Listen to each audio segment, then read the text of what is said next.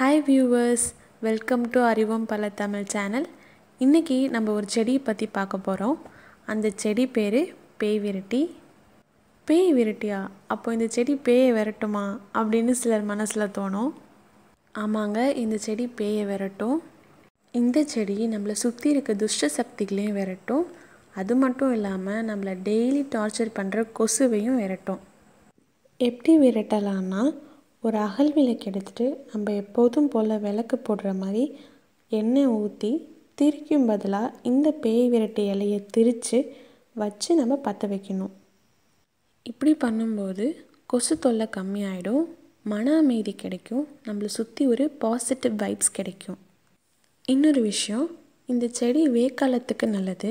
வேக்காலம்னா வயிறு வெந்து போயிடுச்சுன்னு சொல்லுவாங்க. இல்லை வயிறு புண்ணாயிடுச்சுன்னு சொல்லுவாங்க. வேக்காலத்துக்கு நம்ம என்ன பண்ணலான்னா ஒரு இட்லி பானை எடுத்துகிட்டு தண்ணி ஊற்றி இட்லி போல் இந்த பேய் விரட்டி இலைகளை வந்து வச்சு அது கூட சீரகமும் வெந்தயமும் போட்டு அவிக்கணும். அவிச்ச அப்புறம் நம்ம திறந்து பார்த்தோன்னா அந்த பேய் விரட்டி இலைகளோட நிறம் வந்து மாறி இருக்கும் அப்புறம் நம்ம ஒரு பாத்திரத்தில் சுடு தண்ணி வச்சுக்கணும். அந்த சுடு தண்ணியில் நம்ம அவிச்ச இலைகள் இருக்கு இல்லையா அதை வந்து நம்ம பிழியணும் கசக்கணும்.